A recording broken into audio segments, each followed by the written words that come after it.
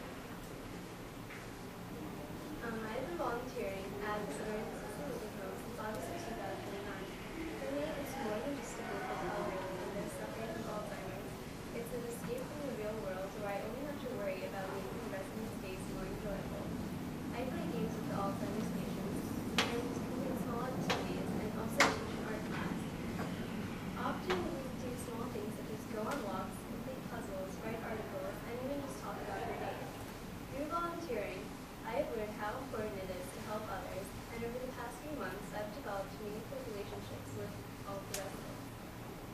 Volunteering at Sunrise has shown me